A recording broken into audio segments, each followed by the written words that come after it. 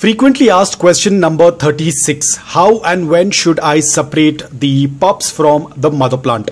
Now guys over here I have a variety of an echeveria and you can see the pup.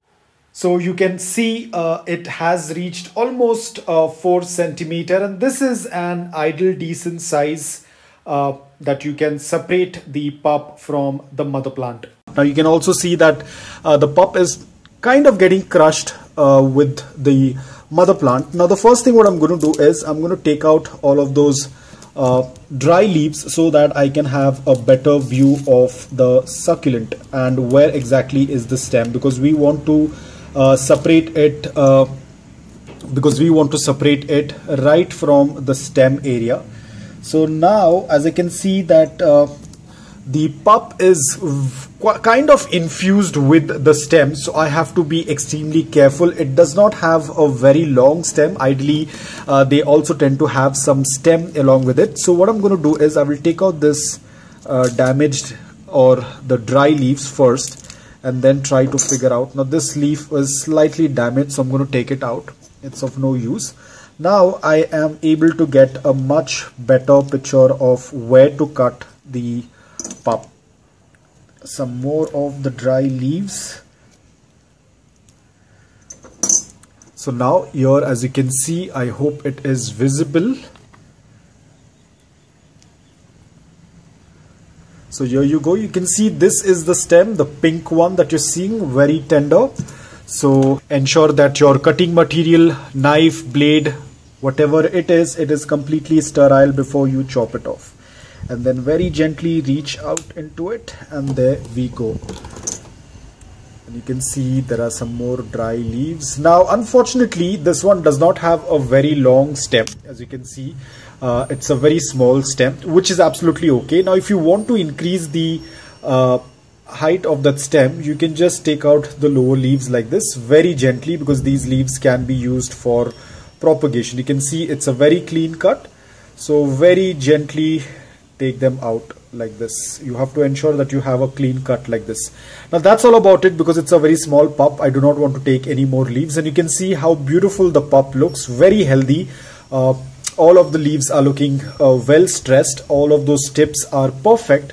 So I'm going to keep it aside. And you can see now we also have a good uh, size of that uh, as you can see we have that good size of stem this will very soon start to put out uh, roots. It is enough to put out roots. Now the most important thing is to let it callus so this is the most important part. If at any point of time moisture water or something comes in contact with it before it tends to callus then this part that you're seeing which is very fresh will start turning darker in color. So you have to ensure that you protect this at all point of time from moisture and water and the same thing goes with this portion. Okay we do see that there are few more pups as well but we are not going to take them out because they are very very small. There is a small little mealybug which is smashed. And as you can see there are more pups as well but we are not going to be taking them out because they are very very tiny.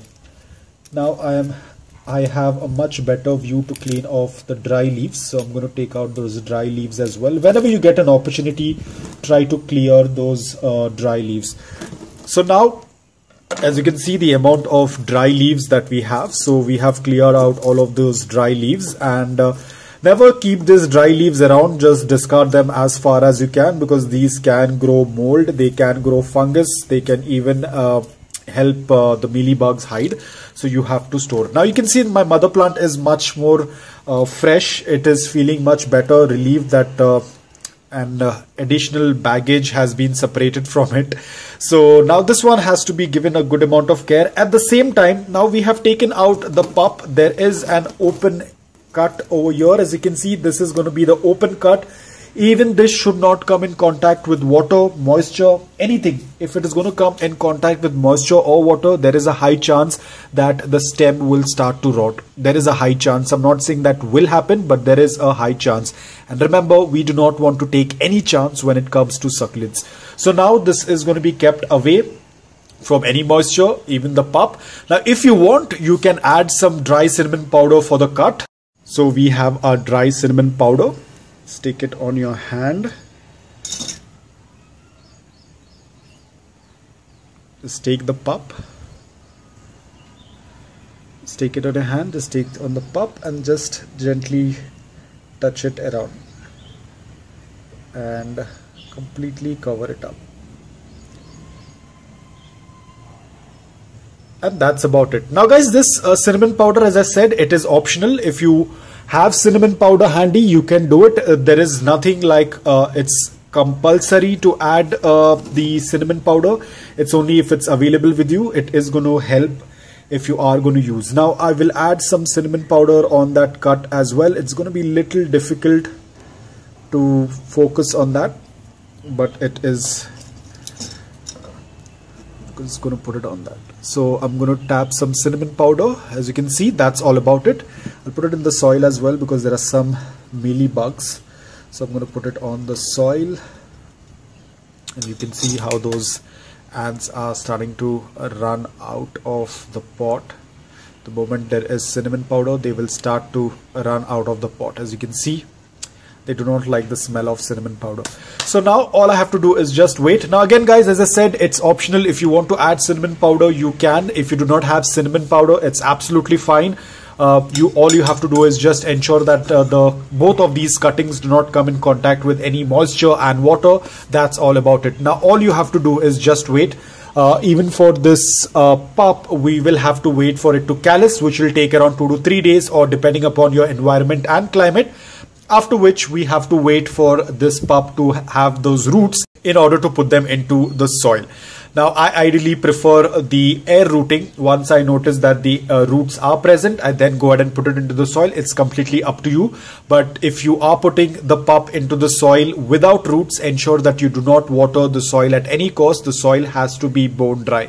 If you are going to water, this cutting that you're seeing over here will start to rot because there are no roots. It cannot absorb water. So guys, I hope that this video was helpful to you. If it was, please hit the like button and thank you so much for watching.